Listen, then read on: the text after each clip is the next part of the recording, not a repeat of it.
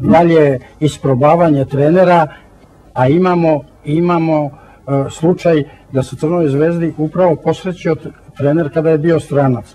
Mi smo e, u medijima dočekali na nož Valtera Zengu.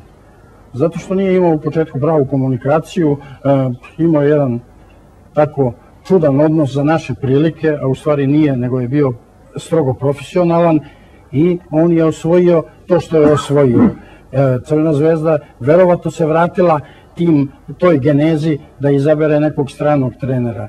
E, ja e, Saši Jankoviću koga, koji se ispoljio ja, kao jedan mlad, ambiciozan trener, posvećen futbalu i ne bih ga ja mnogo kritikovao, ali mi smeta izjava njegova da su za njega igrači i navijači. Prvo, kada su to navijači vodili politiku jednog kluba? Mislim da se to događalo Crvenoj zvezdi i da je loše prolazila.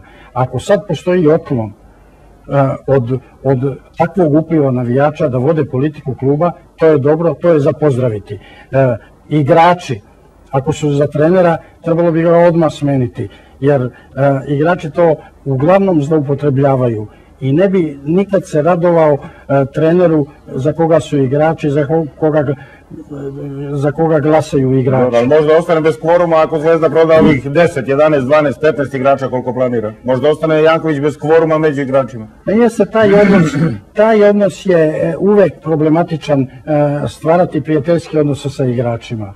Trener mora da zadrži neku distancu i to je, to je problem u našem futbalu veliki sa mnogim trenerima, ali mislim da sa strancem, trenerom koji nije opterećen, nije opterećen ovim odnosima u Zvezdi koji su dosta fluidni, mislim da bi se, da bi se posrećalo. Jedini je problem kako naći stranca.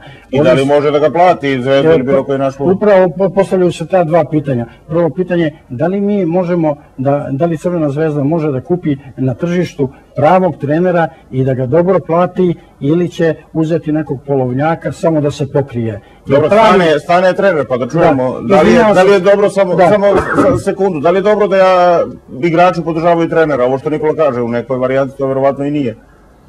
Pa ne znam, ja iz iskustva ovaj, znam da to nije dobro. Nije dobro iz više razloga, jer onog momenta kad se ti ovaj, sviđaš igračima, onda to nešto ne valja, nešto škripi. Jel, treba, treba da bude gonič robova. Pa, otprilike tako. Ja sam u obraćanju javnostima uvek govorio kad je u pitanju moj trener, ko, za koga smatram da je najbolji bio trener, ne u, u Jugoslaviji, nego u svetu i u Evropi, Milan Milenić uvek govorio da je on bio Hitler